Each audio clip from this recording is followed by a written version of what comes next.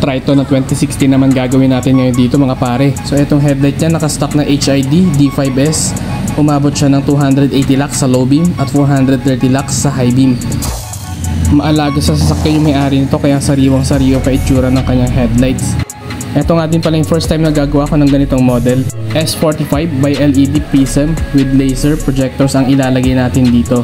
Yun kasi nagustuhan ng ating client kasi may extra beam pag nag high beam ka. Ito yung sinasabi ko, umabot siya ng 630 lux at 8 meters. Medyo natagalan ako ng konti sa paggawa ng kanyang headlights kasi kailangan saktong-sakto yung offset ng ating projector lens kailangan sentrong-sentro din siya sa butas ng kanyang bezel. Naglagay tayo ng extra harness kasi 70 watts each projector para lang mas safe tayo. Mga input lines lang nakalabas dyan sa ating headlights at papuntahin sa harness natin. Present syempre ang ating mga vent patches tapos check natin yung mga channel. Syempre ayos pa rin yan parang OA pa rin ang datingan. Parang hindi nabuksan yung kanyang headlights kasi iningatan natin yan.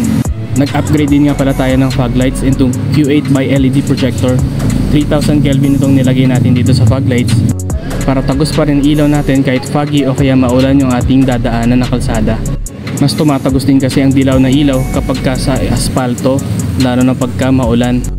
Hindi kasi nito naiilawan yung mga airborne particles na nakikita natin pagka puting ilaw ang gamit natin. At nagmatch din nga pala kasi parehas sa blue lens yung ating fog lights saka headlights. Double check din natin mga ilaw. Working pa rin ang kanyang leveler may electronic knob adjuster kasi ito sa loob ng sakyan since LED na yung gamit natin na projectors wala na yung warm up kagaya kanina sa HID pag HID kasi nagwa-warm up pa yan bago lumiwanag ng tuluyan. Unlike dito pag kasindi mo ng ilaw yun na kaagad yun. Maliwanag na kaagad siya.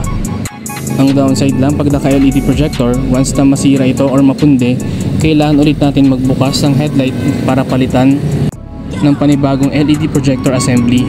Yung nakikita nyo nga palang dalawang bilog dyan sa lens cover, yan yung prism o kaya TIR or Total Internal Reflection sa tinatawag natin. Hindi na siya kagaya ng usual na projectors na gumagamit pa rin ng ball reflector. Naka-prism technology na itong headlight natin. Kaya umabot tayo ng ganito kalakas sa low beam. Umabot tayo ng 2000 lux sa low beam. Tapos sa high beam naman, umabot tayo ng 4000 lux lahat-lahat na yan. Yung fog lights nga pala natin may bago ng LED driver kaya mas maliwanag na rin. Mas mataas din ang bahagya yung wattage nito, dating 30 watts, ngayon ay 45 watts na. Chinek din natin sa labas kung nakakasilaw ba. Nakita niyo naman hanggang gulong lang yung mga cut off ng ating ilaw.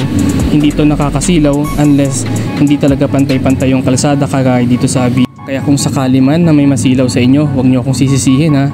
Yung kalsada sisihin nyo o yung mismong driver. Joke lang. Thank you for watching.